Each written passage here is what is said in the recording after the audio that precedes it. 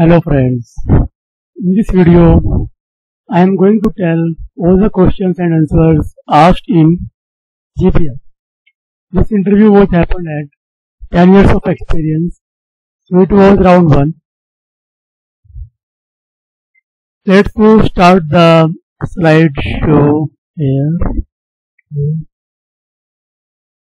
Okay.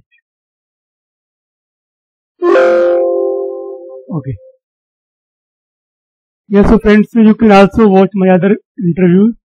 Interview at uh, WDTS, interview at Aricent, and interview at Sirion Labs. For WDTS, you can search using Java interview at WDTS on YouTube. For interview at Aricent, search using Java interview at Aricent. And for interview at Sirion Labs, search using Java interview at Sirion Labs. Alright, so let's start the interview questions and answers uh, asked in Xebia. okay. So, the first question was, what is distributed transaction? What architectures are available for performing distributed transactions? So guys, uh, simple transaction means a transaction is a logically atomic unit of work may span multiple database queries. They ensure locks over resources they acquire in order to maintain the consistency of the database. All this is done with the help of ACID properties.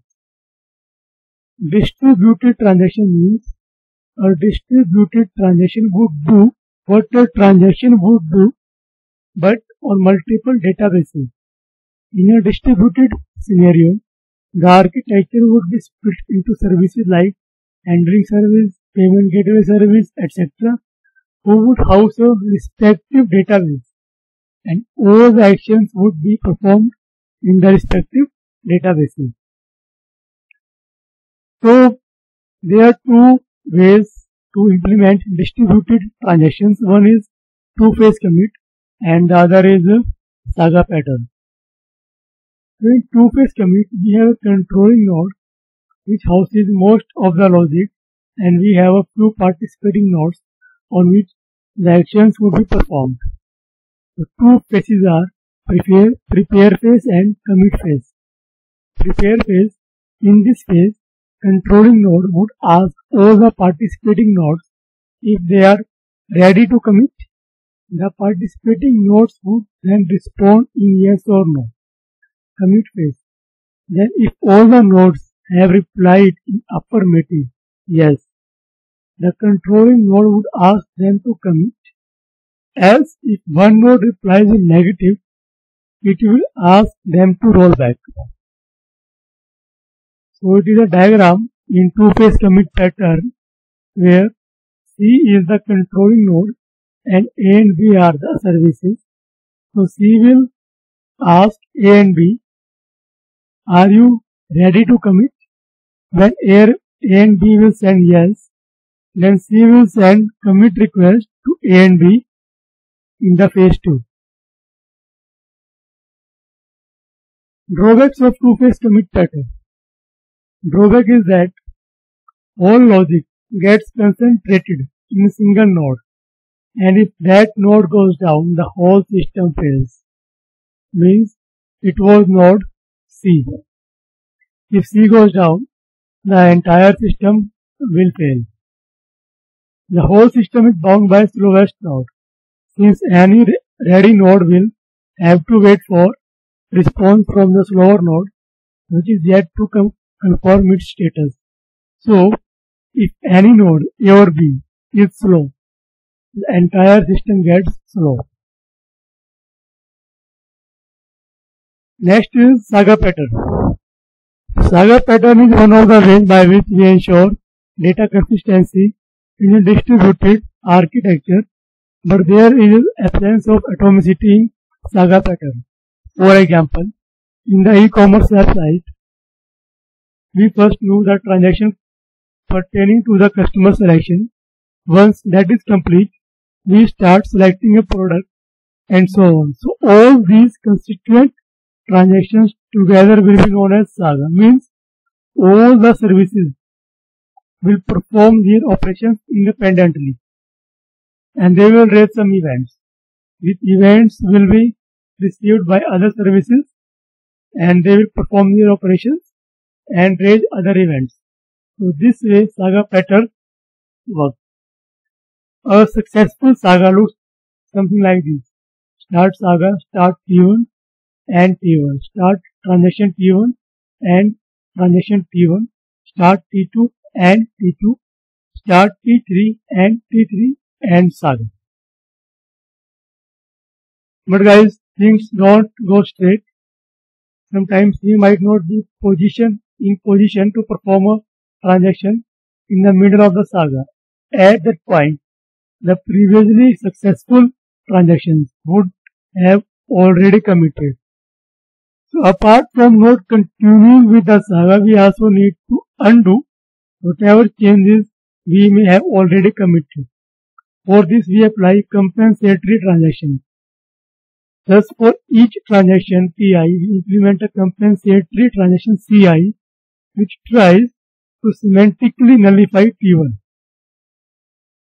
It is not always possible to get back to the same state.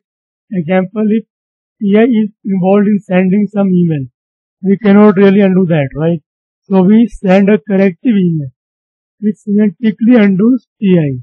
So a failed saga looks something like this. Begin saga, start T1 and T1, start T2. Now, if T2 gets failed, abort saga start C2 and C2 start C1 for T1 and end C1 for start C1 and saga.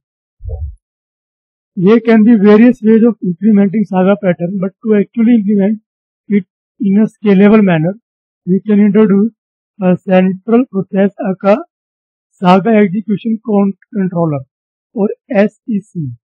It is a process that handles the flow of execution of transactions or compensatory transactions. It helps us centrally locate the logic of execution. It was all about two-phase commit and saga patterns in distributed transactions. The next question was how to write custom annotation. It is a very very important question. Java annotations are mechanisms for adding metadata information to our source code. Annotations were added in Java 5. Annotations offer an alternative to the use of XML descriptors and marker interfaces. We can attach them to packages, classes, interfaces and methods, but they have no effect on the execution of the program. Add interface keyword is used to declare an annotation. Annotation are of three types like uh, custom level annotation, method level annotation and the field level annotation. So here it is a uh, class annotation. In this we have for the I am creating a an custom annotation public at interface JSON serializable. So we have to use the keyword at interface and on the top of this we have to use add target and add retention. In target we have to specify element type. Here because it is of class level I will use type and in the retention we have to pass retention policy means runtime. Alright. Okay. Now we go to field level annotation. Doing this we use public add interface field name JSON element. And on the top of this we use add target and add retention. In the target we specify element type as field. Okay. This annotation declares one string parameter with name, key and an empty string as a default value. Okay.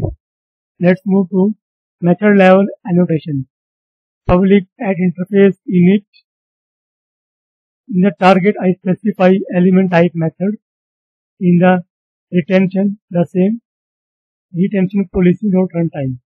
When creating custom annotation for methods, keep in mind that the methods on which these annotations are applied cannot have any parameter and cannot have any exception. Now we can simply apply these annotations from classes, fields and methods as shown below. Suppose we have class student. So on this I will apply add JSON serializable because it was a class level annotation and then on the field level I will use add this element and on the method level I use an add in. So this way custom annotation works and implemented. The next question is what are asymptotic notations? What is their use? Asymptotic notations are used to calculate running time complexity of an algorithm. Below are the common commonly used asymptotic notations. Big O, omega and theta. Big O notation. This notation is a formal way to express the upper bound of an algorithm's running time. It measures the worst case time complexity or the longest amount of time an algorithm can possibly take to complete. So if we have a function fn, for this gn represents the big O omega notation. The notation omega n is a formal way to express the lower bound of an algorithm's running time. It measures the best case time complexity or the best time of time, amount of time an algorithm can possibly take to complete. So suppose we have the uh, function fn this way. So for this omega is our gn means the minimum time taken by the algorithm to complete. The last one is theta notation. The notation theta is a formal way to express both the lower bound and the upper bound of an algorithm's running time and it is shown as below. So if we have a function fn for this, theta is the lower bound and the upper bound. So these are all about asymptotic notations. Next question is write some HTTP error codes with their meaning. So we have five types of HTTP error codes starting with 1, 2, 3, 4 and 5. 1 means informational. In this we have many. So I, I am showing only one. 100 means continue. 2 means success. 200 okay. 201 created. 202 means accepted. 204 means no content. 3 means weak direction. They are basically not used. They are used rarely. The fourth one is client error. So 400 means bad request, 401 means unauthorized, 402 means payment required, 403 means forbidden, and 404 means not found. Fifth is server error. 500 means internal server error, 501 means not implemented, 502 bad gateway and 503 service unavailable. Website server is simply not available. Thank you guys. Thanks for watching.